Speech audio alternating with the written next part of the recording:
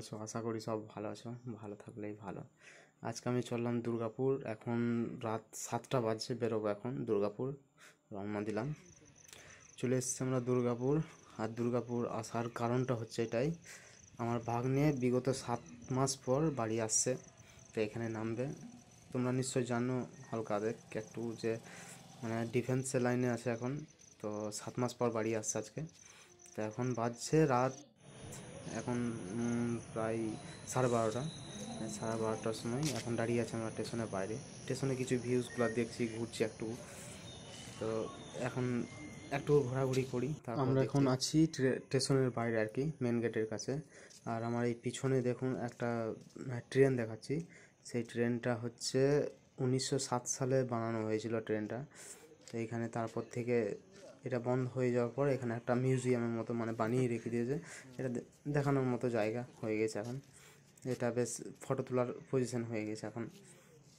দাঁড়ালাম এখানে দেখলাম, দু একটা ফটো তুললাম দেখার মতো জায়গা। আমরা চলে এলাম এখন চায়ের দোকান, চা খেতে একটুকু। মানে ঘুম ঘুম লাগছে।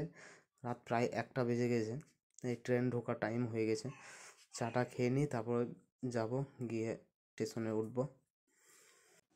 চলে এলাম আমরা দুটো প্ল্যাটফর্ম টিকিট কেটে। যাই ফোন করে ডাকলো যে স্টেশনে আসতে হবে।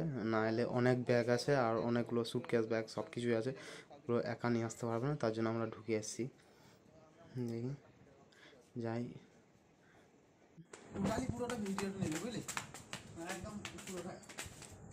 আসবে চার নম্বর প্ল্যাটফর্মে নামবে বলেছে।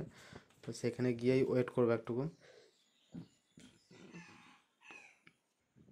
এটা স্টেশনের ওপর থেকে, ওভারব্রিজ থেকে। আমরা এখন চললাম চার নম্বর প্ল্যাটফর্মে টাইম হয়ে গেছে অলরেডি আর হয়তো দশ মিনিট বা পাঁচ মিনিটের মধ্যে ট্রেন ঢুকবে। তো আমরা আগে থেকে একটু দাঁড়িয়ে থাকি ওখানে। অনেকগুলো ব্যাগ আছে ট্রেন থেকে নামানো। অসুবিধা হবে, তাই আমরা যাই প্ল্যাটফর্মের কাছে। ওখানে দাঁড়িয়ে থাকব ঠিক পজিশনে যেখানে নামবে সেরকম জায়গায়। এটাই সেই দুর্গাপুর স্টেশন আমি দুর্গাপুর স্টেশনে এই প্রথমবার এসেছি। ওয়েট করতে একটু, এখন পুরো ফাঁকা আছে স্টেশন অনেকটা রাত হয়ে গেছে তার জন্য। জায়গাটা ভালো, আবহাওয়াটাও ভালো আছে এখন। আশা করছি এই ট্রেনটাই হবে। ম্যাপ দেখে যেটা বুঝলাম, এই ট্রেনটাই পড়ে জবলপুর টু কলকাতা লেখা আছে অবশ্য। আমরা চলো, এই ট্রেনটাই আসছে। দেখি কোথায় দাঁড়াই। ওর বগিটা কোন জায়গায় পড়ে বুঝতে পারছি না এখন।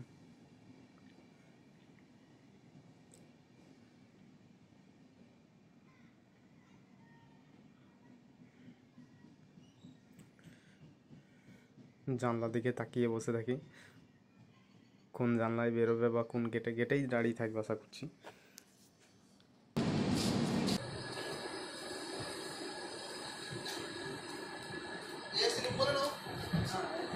এই এই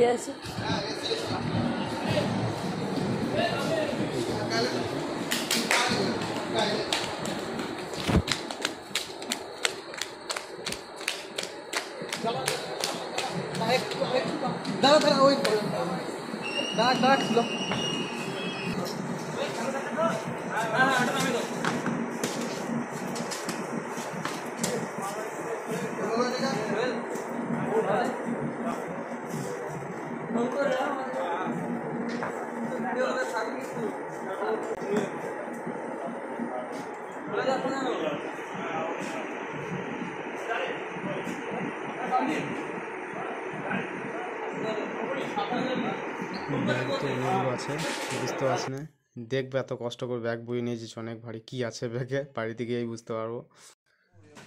এই তাহলে ব্যাগের আসল রহস্য। আমি ভাবতেও পারি না যে ব্যাগের মধ্যে এত কিছু ভরা থাকবে।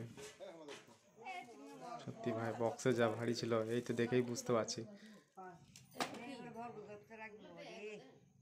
এই ট্রেনিং সেন্টার ওদের ক্যাম্পে থেকে সবাই মিলে একসঙ্গে বেশ ফটো এগুলোই থাকবে, বাড়িতে আর কিছু থাকবে না। দেখার মতো ফটোগুলো অনেকগুলো ফটো তোলা আছে অলরেডি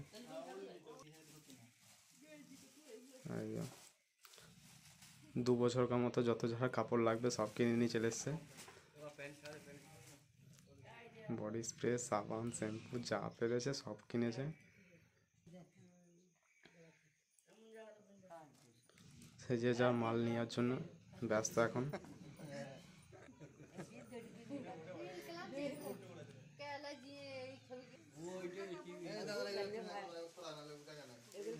প্রচুর মাল ভাই, প্রচুর মাল ভরা আছে।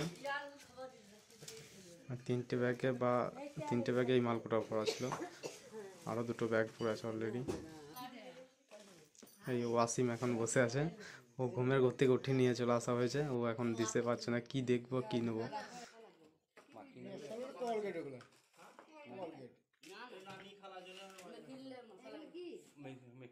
সব মাল বের হয়ে গেছে অলরেডি বাকি পড়ে আছে ইউনিফর্ম।